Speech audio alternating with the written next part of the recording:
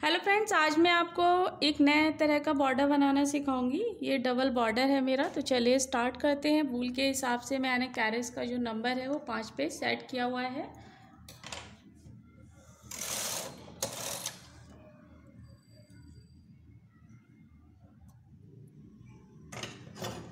अपना बेट और हुक लगा देंगे।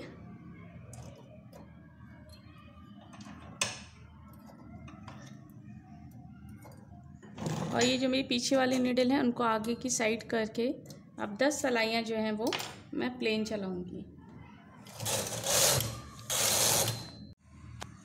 दस सलाइयाँ चलाने के बाद आपको क्या करना है, दो नीडल छोड़ करके तीन नीडल आगे की साइड करनी है, फिर दो नीडल छोड़नी है, तीन नीडल आगे। इस तरह से आपको करना है दो दो नीडल छोड़ के तीन नीडल जो है वो आप आगे की साइड करते जाएँगे।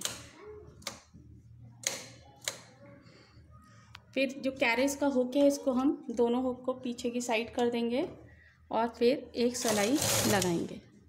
इसके बाद आपको क्या करना है? फिर आपको कैरेज का हुक जो है, वो आगे की साइड कर देना है। फिर दूसरी सलाई लगानी है।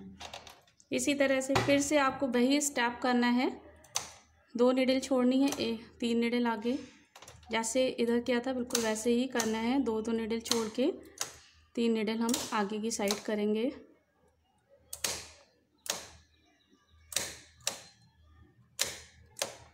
कैरिस का हुक पीछे की साइड कर देंगे। सिलाई चलाएँगे, फिर कैरिस का हुक आगे की साइड करेंगे।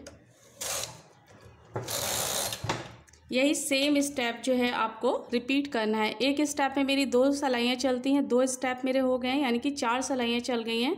अब तीन स्टेप और करने, तब तो हमारी दस सलाइयाँ ऊपर की तरफ़ कंप्लीट हो जाएँगी। जैसे नीचे हमने प्लेन दस सलाइयाँ चलाई हैं। तो इसी तरह से तीन स्टेप सेम करके फिर मैं आपको दिखाती हूँ किस तरह का ये बॉर्डर आएगा। अब बाकी के तीन स्टेप मैंने बना लिए हैं। अब इसमें फंदे डालेंगे हम।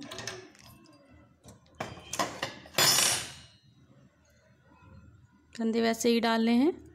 एक एक निडल छोड़ छोड़ के। इसमें डाला, ये निडल छोड़ी, दूसरी निडल में डाला।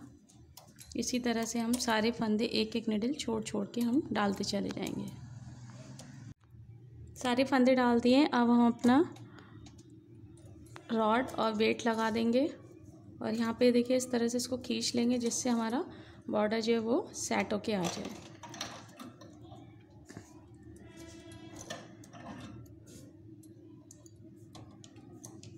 अभी हमारा बॉर्डर है, अब जिस पे हमें स्वेटर बनाना है तो उस पर अपना कैरिस का नंबर सेट कर लेंगे। तो मैंने आठ पीस को सेट किया है। और इसके ऊपर प्लेन सलाइयाँ चला करके फिर आपको दिखाऊँगी किस तरह से ये आपका बॉर्डर बनकर तैयार होगा। प्लीज़ मेरे चैनल को सब्सक्राइब कीजिए और वीडियोस की जानकारी के लिए बेल आइकन दबाइए। Thank you. प्लेन सलाइयाँ चला ली हैं और ये देखिए इस तरह से ये आपका, यहाँ देखिए बॉर्डर बनकर तैयार हो गया है।